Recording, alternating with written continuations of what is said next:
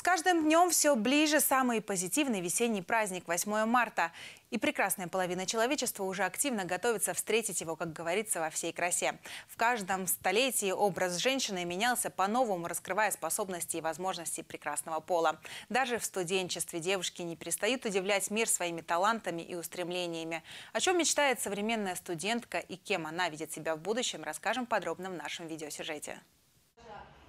Спортсменки, комсомолки и, конечно, просто красавицы. Все это наши студентки. Каждая из них создана, чтобы сделать мир вокруг себя таким же прекрасным, как и она сама. Но в какой профессиональной или научной области они найдут себя после выпуска из университета? В преддверии Всемирного женского дня наша съемочная группа решила выяснить, каков он образ современной студентки и о каком будущем мечтает каждая из них. В будущем я буду журналистом, потому что эта тема мне очень интересна. И как бы заканчивать пока что я с этим не хочу. Мне всегда интересно было все, что связано с законом, с какими-то преступлениями. Вот, поэтому у меня так, такая цель защищать, защищать народ от а, а, каких-то преступников. И поэтому вот так вот. Мне нравится роль управленца.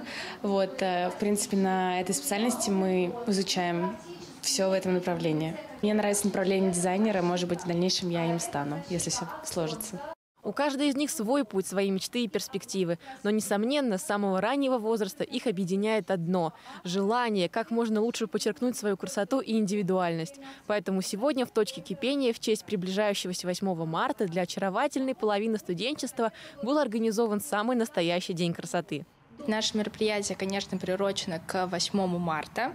Мы специально нашли а, врачей-косметологов, стилистов, которые сегодня смогут провести девочкам лекции и мастер-классы. Мы делаем основной упор на уход за нашей кожей, потому что ухаживать за кожей важно с молоду, с любого возраста, тем более со студенческого, когда у нас очень много стресса и недосыпа в жизни. Тема действительно актуальна, ведь в любых обстоятельствах и при любой погоде девушка должна выглядеть на все сто.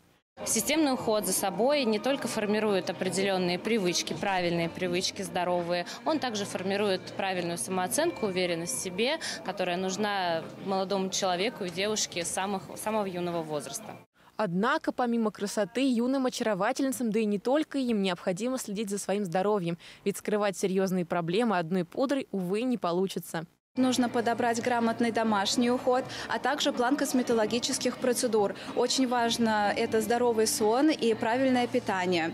Начинать ухаживать за своей кожей нужно как можно раньше. Желательно посещать косметолога с подросткового возраста. Вот и получается, что процесс ухода за собой необычайно важен, и девушкам особенно. Ведь несмотря на то, украшением какой профессии станет в будущем студентка, именно благодаря ее физической и нравственной красоте и здоровью женский пол называется прекрасным.